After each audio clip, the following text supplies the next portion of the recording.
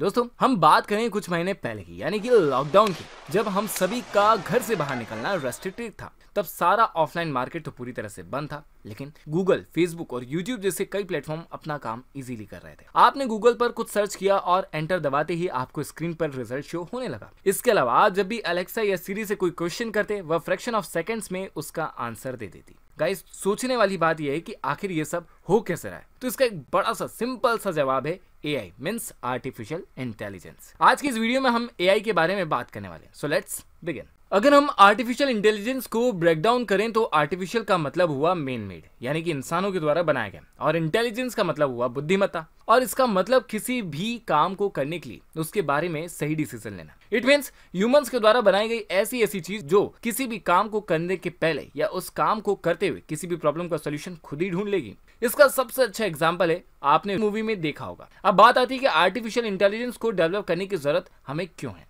सो so, इसका सीधा सा जवाब है। ह्यूमंस ऐसी मशीन या रोबोट्स डेवलप करना चाहते हैं जो उनके किसी भी काम को इजीली कर पाए। जैसे टेस्ला की ड्राइवरलेस कार इट मींस जो टाइम आप ड्राइविंग करते टाइम वेस्ट कर देते थे। अब उस टाइम को आप किसी प्रोडक्टिव वर्क में लगा सकते हैं। आपकी जगह कार खुद ही आपको आपके डेस्टिनेशन तक पहुँचा देगी और इससे होने वाले एक्सीडेंट्स भी खत्म हो जाएँगे।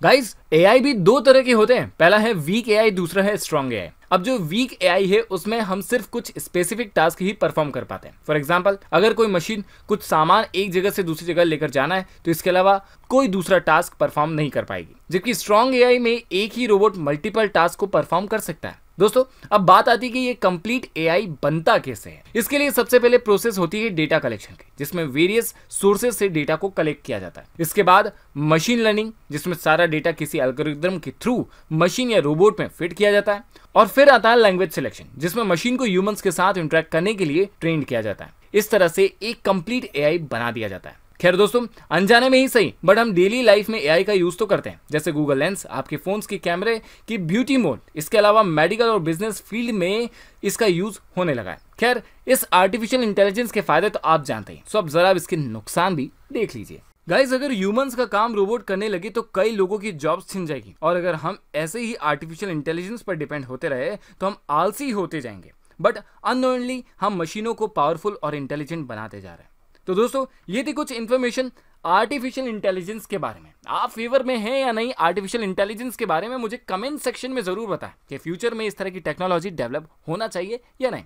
वीडियो कैसी लगी? जानकारी कैसी लगी? ये मुझे ज़रूर बताएँ। वीडियो पसंद आ चुकी है तो इसे लाइक कर दीजिए और खूब सारा दिल से शेयर कर दीजिए। चैनल को सब्सक्राइब कर दीजिए नोटिफिकेशन बेल आइकन को प्रेस करने के साथ। मिलता हूँ अगली वीडियो में, तब तक के लिए बाय बाय